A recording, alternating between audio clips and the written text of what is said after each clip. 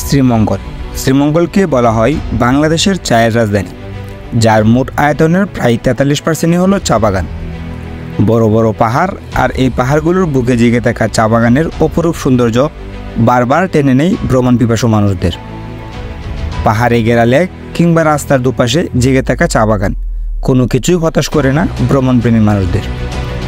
বছরের এক এক সময় এক এক সৌন্দর্য নিয়ে হাজির হয় এই চায়ের দেশ শ্রীমঙ্গল। তাই তো হুটহাট প্ল্যান করে হাতে একদিনের সময় নিয়ে হারিয়ে যাওয়া যায় এই চায়ের রাজ্যে। তাই তো আমরাও আর দেরি না করে হুটহাট প্ল্যান করে চলে আসি শ্রীমঙ্গলে। দেখানোর চেষ্টা করব কীভাবে সবচেয়ে কম খরচে সহজ উপায়ে আসবেন শ্রীমঙ্গল। শ্রীমঙ্গলে কোথায় কোথায় ঘুরবেন, কোথায় বা থাকবেন তার খুঁটিনাটি সকল তথ্য। তার পাশাপাশি থাকবে সিলেটের বিখ্যাত সাত রঙের চা খাওয়ার অভিজ্ঞতা এবং স্থানীয় মানুষদের বেঁচে থাকার সংগ্রামী জীবন। সব কিছুই থাকবে আজকের এই ভিডিওতে। Now we are Srimangal. ওফ গাইস রাস্তাটা দেখেন জাস্ট এই পাশ দিয়ে চা বাগান আর এই পাশ দিয়ে চা বাগান পাঁচশো গাছ ছাটাই করলে একশো সত্তর টাকা কোম্পানিতে তো চলুন আর দেরি না করে আপনাদেরকে নিয়ে একদিনে ঘুরে আসি চায়ের দেশ শ্রীমঙ্গল থেকে।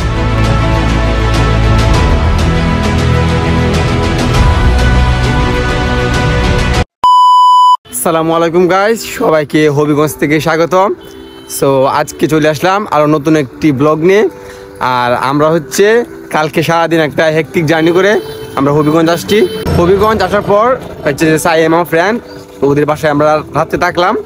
সো আজকে আমরা যাব শ্রীমঙ্গলের উদ্দেশ্যে। তো, মাত্র আমরা নাস্তা করলাম। নাস্তা করার পর এবার হচ্ছে আমরা শ্রীমঙ্গলের উদ্দেশ্যে রওনা হব। সো আজকে আশা করতেছি অনেক সুন্দর একটা ব্লগ হবে। আমরা আজকে শ্রীমঙ্গল পুরোটা এক্সপ্লোর করব। তো আমাদের সাথে থাকবে তো প্রথমে আমরা সাইমের বাসার নিচ থেকে একটা সিএনজিতে উঠে পড়ি, আর আমাদের গন্তব্য ছিল মিরপুর বাজার।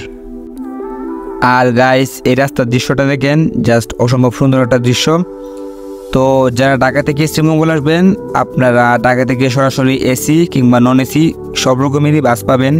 তাছাড়া ট্রেনে আসলে আপনারা কমলাপুর থেকে সিলেটের ট্রেনগুলোর মাধ্যমে চলে আসতে পারবেন শ্রীমঙ্গল। ওকে, আমরা সকালে নাস্তা করে আমরা হবিগঞ্জ থেকে মিরপুর আসছি সিএনজি দিয়ে সো এবার এই মিরপুর বাজার থেকে আমরা হচ্ছে শ্রীমঙ্গল যাব, আর এখানে হচ্ছে দুইটা ওই আছে। আপনারা চাইলে হচ্ছে বাস দিয়ে যেতে পারবেন, আর এখানে সিএনজি আছে। এখানে সিএনজি আছে, আপনারা চাইলে সিএনজি দিয়ে যেতে পারেন। তো আপনাদের কাছে যেটা বেটার মনে হবে, আপনারা এটা দিয়ে যেতে পারবেন। এই যে হচ্ছে, এটা হচ্ছে বাস কাউন্টার এখান থেকে হচ্ছে শ্রীমঙ্গলের বাসগুলো ছেড়ে যায়। তো আমরা এখন এখানে যাব। ওকে গাইস ফাইনালি হচ্ছে আমরা শ্রীমঙ্গলের বাসে উঠে পড়লাম, আর বাসও ছেড়ে দিয়েছে। তো এখানে হচ্ছে বাস ভাড়া তারা পঞ্চাশ টাকা করে চাইছে। তো আমরা একটু বাইকিং করছি বাইকিং করে দেখি কমাইতে পারে নাকি। যাই হোক, এবার হচ্ছে আপনাদেরকে সাথে নিয়ে আমরা হচ্ছে চায়ের দেশ শ্রীমঙ্গলে চলে যাব। আর অনেক এনজয় করব, আর আমাদের টাইম তার চশমা একটু করে করে চেঞ্জ করতেছে।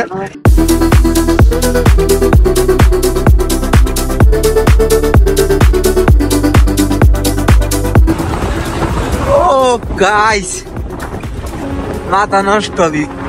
ওফ গাইস রাস্তাটা দেখেন জাস্ট এই পাশ দিয়ে চা বাগান আর এই পাশ দিয়ে চা বাগান আর মাঝখানে এই রাস্তাটা। শ্রীমঙ্গল যেমন সুন্দর আমার কাছে মনে হয় তার চেয়ে বেশি সুন্দর শ্রীমঙ্গল যাওয়ার রাস্তাটা। রাবার বাগান আর চা বাগানের দৃশ্য দেখলে আপনার কাছে মনে হবে এটাই হয়তো বাংলাদেশের সবচেয়ে সুন্দর রাস্তা।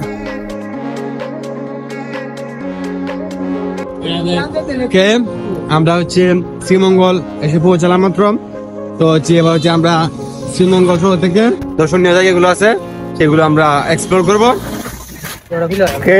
আমরা হচ্ছে শ্রীমঙ্গল শহরে নামার পরে আমরা শ্রীমঙ্গল শহরের কাছেই একটা আর্মি ক্যাম্প আছে। ওইটা মেবি হচ্ছে বদ্ধভূমি একাত্তর। আমরা এই জায়গাটা হালকা কিছুক্ষণ ঘুরবো, ঘোরার পরে হচ্ছে আমরা মাধবপুর লেকের উদ্দেশ্যে রওনা দেবো। তো এই জায়গাটাও অনেক সুন্দর একটা জায়গা, আপনারা যারা মানে চারপাশের আবহাওয়াটা অনেক সুন্দর আর এখানে সবুজ গাছপালা, সাথে হচ্ছে চা বাগান আছে, আর ওদের এখানে কিছু ডেকোরেশন আছে। এগুলো দেখলে অবশ্যই ভালো লাগবে আপনাদের। বৌদ্ধভূমি একাত্তর। বৌদ্ধভূমি একাত্তর বলতে গেলে শ্রীমঙ্গল শহরের অন্যতম বিনোদন কেন্দ্র। দুই হাজার দশ সালে মহান মুক্তিযুদ্ধের শহীদদের স্মৃতি রক্ষায় নির্মিত স্মৃতিস্তম্ভ ঘিরেই এই পার্কটি তৈরি করেছে। সারাদিন তেমন পর্যটক না থাকলেও বিকেলবেলায় পর্যটকের দল পড়ে এই বৌদ্ধভূমি একাত্তরে।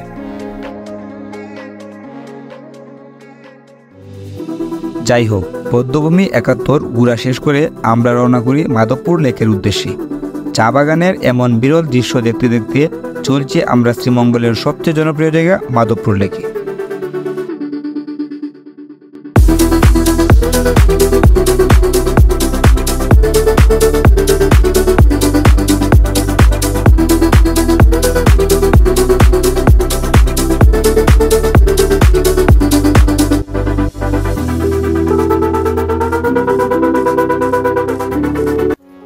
গাইস দেখতে পাচ্ছেন? আমার চারপাশে হচ্ছে চা বাগান। হ্যাঁ আমরা চলে এসেছি মাধবপুর লেকে। খুবই সিন্ডিকেট এখানে। যার কারণে আমরা হচ্ছে দিয়ে আসি লুকালি আর আমাদের ভাড়া পড়েছিল একশো পঞ্চাশ টাকা, ষাট টাকার মতো। তো লুকালি ভাবে আসবেন, তাহলে ভাড়া কম লাগবে। আর রিজার্ভ করলে ভাড়া অনেকটা বেশি পড়ে যাবে। তো আমরা এই যে সামনে হচ্ছে মাধবপুর লেক। তো আমরা এখন মাধবপুর লেকে প্রবেশ করব।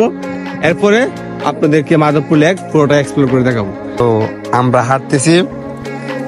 এই যে সামনে হচ্ছে মাধবপুর লেক, আর চারপাশে পুরোটা চা বাগান। আসলে শ্রীমঙ্গল তো হচ্ছে চায়ের জন্য বিখ্যাত, চায়ের দেশ শ্রীমঙ্গল। তো এখানে পাহাড়, চা বাগান, আর হচ্ছে লেক। এগুলো হচ্ছে মেইনলি বেশি বেশি পাওয়া যায়, আর চা বাগানটাই হচ্ছে বেশি। তো আমরা হচ্ছে এই গেটটা মাত্র ক্রস করলাম, আর আমরা হচ্ছে এই যে সামনে হচ্ছে মাধবপুর লেক। এখানে একটা গেট আছে, তো এই গেটে মেনলি কি হয়? এই গেটে হচ্ছে যদি আপনারা কোনো স্কুল থেকে আসেন মানে কোনো গ্রুপ বাসে কিংবা কোনো স্কুল থেকে গ্রুপ ভাবে আসেন, তাহলে আপনাদের টিকিট করতে হবে? আমরা হচ্ছে তিনজন আসছি হবিগঞ্জ থেকে, যেহেতু আমরা লোকালি এই জন্য আমাদের কাছে কোনো টিকিট মানে তারা নেয়নি। আর আপনারা যদি গ্রুপে আসেন, কোনো স্কুল থেকে বা কলেজ থেকে, তাহলে আপনাদেরকে টিকিট দিতে হবে। ফাইনালি আমরা চলে এসেছি মাধবপুর লেকে, আর মাধবপুর লেকের পানিটা আপনারা দেখতে পাচ্ছেন যে খুবই সুন্দর একটা পানির কালার যেহেতু এখন বসন্তকাল, তাই হচ্ছে পানির কালারটা এরকম সুন্দর আসছে। আর আপনারা যদি বর্ষাকালে আসেন, তাহলে পানির কালারটা এরকম আসবে না। তবে মাধবপুর লেকের পানিটা সবসময় মোটামুটি ভালোই থাকে। যেহেতু শ্রীমঙ্গলের সবচেয়ে জনপ্রিয় জায়গা হচ্ছে এই মাধবপুর লেক, তাই সবসময় এই জায়গাটাতে মানুষজনের ভিড় একটু বেশি থাকে। আর বিভিন্ন স্কুল, কলেজ থেকেও সবাই এই জায়গাটা চুজ করে, যার কারণে মানুষজন সবসময় এখানে বেশি থাকে। দেখতে পাচ্ছেন, আমার পিছনে হচ্ছে মাধবপুর লেক। আর আমরা হচ্ছে এখন মাধবপুর লেকের সাথে যে পাহাড়গুলো আছে এই পাহাড়গুলোর উপরে উঠতেছি। আর আশা করতেছি পাহাড়গুলোর উপরে ওঠার পরে মাধবপুর লেকের একটা সুন্দর ভিউ পাওয়া যাবে। মাধবপুর লেক মৌলভীবাজার জেলার কমলগঞ্জ উপজেলার মাধবপুর ইউনিয়নে অবস্থিত। বাংলাদেশের উল্লেখযোগ্য লেকগুলোর মধ্যে মাধবপুর লেক অন্যতম। উনিশশো পঁয়ষট্টি সালে চা বাগানের টিলায় বাদ দিয়ে পানি জমিয়ে এই লেক তৈরি করা হয়, যার আয়তন প্রায় পঞ্চাশ একর। লেকের চারদিকে বড় বড় পাহাড় আর এই পাহাড়গুলোর বুকে জিগে থাকা চা বাগান, যেন বাড়িয়ে তুলেছে এই লেকের সৌন্দর্য। লেকের স্বচ্ছ জল এবং তাতে ফুটে থাকা অসংখ্য শাপলা ফুল যেন দৃষ্টি কেড়ে নেই প্রত্যেকটা আগমনী পর্যটকদের। গাইস আমার পিছনে যে ভিউ আপনাদেরকে বুঝতে পারছেন কি সুন্দর একটা ভিউ আর এই ভিউটা অবশ্যই হচ্ছে মাধবপুর লেক। পিছনে দেখতে পাচ্ছেন যে পানির যেটা জলধারা এটা হচ্ছে মাধবপুর লেক। আর আমরা হচ্ছে এখন পাহাড়ের উপরে আছি আর নিচে হচ্ছে আমাদের মাধবপুর যে লেকটা এটা। আর উপর থেকে যে যা একটা ভিউ পাওয়া যাচ্ছে একবার অস্থির একটা ভিউ দা দিয়ে ছাটাই করে হ্যাঁ। উপরে ছাটাই হয়। হ্যাঁ। এভাবে একজন লোক যদি ছাটাই করে তাহলে পাঁচশো গাছ ছাটাই করলে একশো সত্তর টাকা কোম্পানি দেয় মাত্র? মাত্র। আর মহিলারা যে পাতা উঠায় হ্যাঁ। এই শুধু জালি পাতাগুলো। এই যে জালি পাতাগুলা। হুম। এই জালি পাতাগুলা একজন মহিলা তেইশ কেজি উঠাইয়া দিলে একশো সত্তর টাকা। তেইশ কেজি? তেইশ কেজি। তবে আমরা এই টাকা নিয়ে আমরা খুবই একটা কষ্টে চড়ি খুবই একটা কষ্ট ভোগ করি। আমরা এই যে জালি পাতাগুলো আছে সেই জালি পাতাগুলো দিয়ে ভর্তা করে আমরা রাত্রে ভাতের সাথে খাই। তো দর্শক, আপনারা তো শুনতে পারলেন যে আমরা একটা বয়স্ক লোকের সাথে কথা বলছিলাম এখানে, যে তারা কীভাবে এই চা বাগানগুলো প্রসেসিং করে মানে কীভাবে তারা এই চা পাতাগুলো তুলে, and তোলার পরে তারা এগুলো কীভাবে পাঠায় মানে তাদের যে কোম্পানি আছে কোম্পানিগুলো কীভাবে দেয়। তো উনি যেভাবে বললেন যে আসলে তারা যে পরিশ্রম করে, এই পরিশ্রমের তুলনায় আসলে তাদের পারিশ্রমিকটা অনেক কম। তারা হচ্ছে পাঁচশো গাছ মানে ছাঁটাই করে এই পাঁচশো গাছ ছাঁটাই করার বিনিময়ে তাদেরকে মাত্র একশো সত্তর টাকা করে দেয় আর এই পাঁচশো গাছ ছাঁটাই করতে মানে অনেক সময় লাগে, আর এই তুলনায় একশো সত্তর টাকা আসলে অনেক কম। তো এরকমই তাদের পারিশ্রমিকটা আসলে অনেকটা কম, যেটা শুনে আমাদের খারাপ লাগল। তো আমার কথা হচ্ছে এটাই যে আমাদের উচিত তো তাদেরকে পারিশ্রমিকটা একটু বেশি দেওয়া দরকার।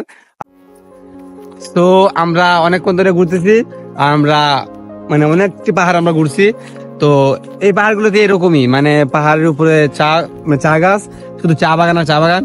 আর এই মাধবপুর লেকে আসলে সবচেয়ে বেশি আকর্ষণীয় যে জিনিসটা, সেটা হচ্ছে যে মাধব মানে যে লেকটা আছে, ওই লেকটা আর ওই লেকের পাশ দিয়ে যে পাহাড়গুলো আছে, এই পাহাড়গুলোতে হচ্ছে চা বাগান। তো এটাই হচ্ছে মাধবপুর লেকের যে আসল সৌন্দর্য। আর এছাড়া আপনি যদি আরও ভিতরে প্রবেশ করেন তাহলে এই শুধু পাহাড় দেখতে পারবেন আর পাহাড়ের মধ্যে শুধু চা বাগান থাকবে। এছাড়া আর তেমন কিছু নাই। তবে মাধবপুর লেকটা আমার কাছে অনেক সুন্দর লাগছে। আর বিশেষ করে যে লেকের উপরে যে পাহাড়গুলো আছে, এই চা বাগানগুলো আছে, ওখানে উঠলে আপনি লেকের একটা সুন্দর ভিউ পাবেন, যেটা হচ্ছে অনেক ভালো লাগছে দেখে। তো আমরা আরেকটু সময় এনজয় করব, এরপরে আমরা হচ্ছে মাধবপুর লেক থেকে ব্যাক করব। মাধবপুর লেকের এমন সারি সারি চা বাগান, তার সাথে সুউচ্চ পাহাড় ঘেরা এই লেকের সৌন্দর্যে বারবার ফিরে আসে পর্যটকরা। মনোমুগ্ধকর এই দৃশ্যে বসে থাকা যাবে সারাদিন। তবু যেন ফুরাবে না এই লেকের মায়া।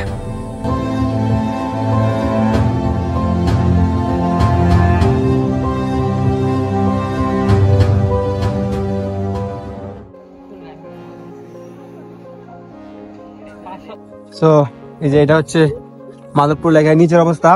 আমরা হচ্ছে পাহাড়ে উঠছিলাম। তো এতক্ষণ পাহাড়ের উপর থেকে একটা ভিউ পাইছিলাম। আর এটা হচ্ছে নিচের যে ভিউটা এটা আর উপর থেকে এটা দেখলে অনেকটা নীল পানির মতো বোঝা যায়। আর এখানে হচ্ছে শাপলা ফুল, নীল শাপলা ফুল ফুটছে। তো ওভারঅল অনেকটাই সুন্দর। আপনি শ্রীমঙ্গলের মধ্যে এটাই হচ্ছে সবচেয়ে জনপ্রিয় জায়গা, যেটাতে সবাই আসে। আর মাত্র তো আমি আপনাদেরকে দেখালাম যে অনেক মানুষ এখানে আসছে। অনেক স্কুল, কলেজ থেকে সবাই এই জায়গাটাই চুজ করে। যাই হোক আমরা মাধবপুর ঘোরা শেষ করলাম। মাধবপুর লেক মোটামুটি আমরা অনেকক্ষণ ধরে এখানে ঘুরতেছি। তো আমরা এখান থেকে এখন চলে যাব। যেহেতু আজকে সন্ধ্যায় আমাদের বাস এবং লাওয়াচড়া জাতীয় উদ্যানে আগে একবার যাওয়া হয়েছে তাই আমরা এই জায়গাটিকে স্কিপ করি। আপনারা যারা প্রথমবার শ্রীমঙ্গল আসবেন তারা অবশ্যই লাওয়াচড়া জাতীয় উদ্যান ঘুরে যাবেন। আশা করে ভালো লাগবে। One two three four five six seven exactly সাত রঙের চা আমরা এখন খাচ্ছি বিজিবি সীমান্তে মানে বদ্ধভূমি একাত্তরে বসে। সো এটার টেস্টটা আপনাদেরকে বলব। আসলে কাহিনীটা হচ্ছে এটার এক একটা লেয়ার এক একটা স্বাদ। মানে একটা লেয়ার শেষ হলে পরের যে লেয়ারটা এটা অন্যরকম লাগবে। মানে সাতটা লেয়ার সাত রকম লাগবে। তো আমরা এখন এই চাটা খাব মানে সিলেটের বিখ্যাত চা, সাত রঙের চা। তারপর মাধবপুর লেক থেকে সরাসরি চলে আসি আবার সেই বদ্ধভূমিতে সিলেটের বিখ্যাত সাত রঙের চায়ের স্বাদ নিয়ে আজকে বিদায় জানাব এই শ্রীমঙ্গলকে। আর আপনারা যারা সিলেটে আসবেন, তারা অবশ্যই সাত রঙের চাটা একবার হলেও ট্রাই করবেন।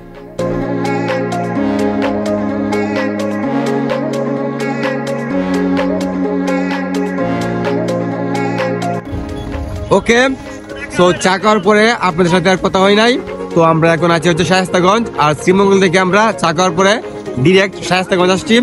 আর আমার যে ফ্রেন্ড আছে, সে হচ্ছে হবিগঞ্জে চলে যাবে সাইম। আর আমরা হচ্ছে আজকে রাতে মানে নাইট কোচে নেত্রকোনা চলে যাব। তো আমরা জানাল আমাদের টিকিট কেটেছি, আমাদের বাস হচ্ছে সাড়ে দশটায়। তো আমরা সাড়ে দশটায় আমরা বাসে উঠবো, আর হচ্ছে দেন হচ্ছে আমরা নেত্রকোনা ব্যাক করব। তো শ্রীমঙ্গলের ব্লগটি আজকে এ পর্যন্তই। তো আমাদের আজকে এই ব্লগটি কেমন লাগল, আপনারা অবশ্যই কমেন্ট করে জানাবেন। আর আমার চ্যানেলে নতুন হয়ে থাকলে অবশ্যই চ্যানেলটি সাবস্ক্রাইব করে রাখবেন। দেখা হচ্ছে নতুন কোনো ভিডিওতে। সে পর্যন্ত ভালো থাকবেন, সুস্থ থাকবেন। আল্লাহ হাফিজ।